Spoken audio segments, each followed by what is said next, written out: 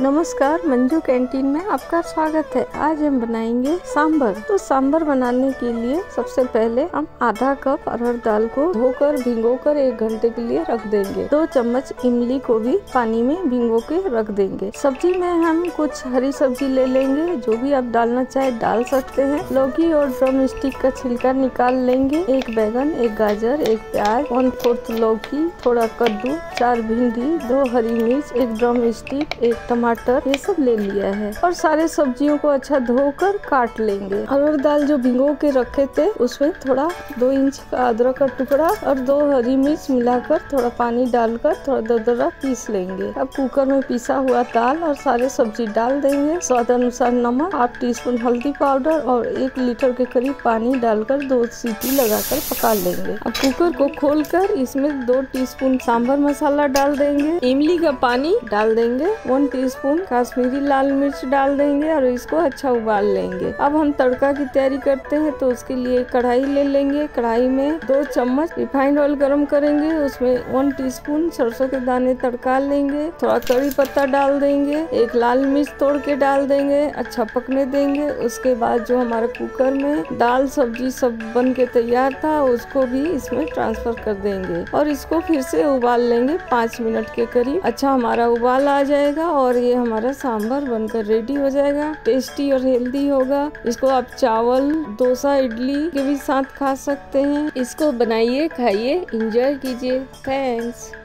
सांभर के लिए एक कप अरहर दाल धोकर, साफ़ पानी में भिगोकर आधे घंटे के लिए रख देंगे। इमली का पल्प पानी डालकर भिगोकर रख देंगे। एक टुकड़ा कद्दू, घिया, दो सहजन का डंडा, एक गाजर, एक बैगन, दो टमाटर, एक टुकड़ा अदरक का हरी मिर्च ले लेंगे। सभी सब्जियों को धोकर छील कर छोटे छोटे टुकड़ों में काट लेंगे। अरहर दाल को कुकर में डालेंगे। एक लीटर पानी डाल देंगे। हल्दी पाउडर, नमक डालकर कुकर को बंद करके दाल पका लेंगे। कढ़ाई गरम करेंगे रिफाइंड ऑयल डालेंगे, सरसों के दाने, मेथी के दाने, हींग तड़का लेंगे कड़ी पत्ता डालेंगे, दो लाल मिर्च डालेंगे, अब कटे हुए हरी मिर्च और अदरक डाल देंगे, प्याज को लच्छेदार तरीके से काट कर डाल देंगे, थोड़ा भूनेंगे, दो टमाटर काट कर डाल देंगे, सॉफ्ट हो जाएगा, कटे हुए सारे सब्ज़ी डाल देंगे ढक कर पकाएँगे, चलाते रहेंगे, नमक डाल देंगे, काश्मीरी लाल मिर्च डाल देंगे, दो चम्मच सांभर मसाला पाउडर डाल देंगे ढककर पकाना है।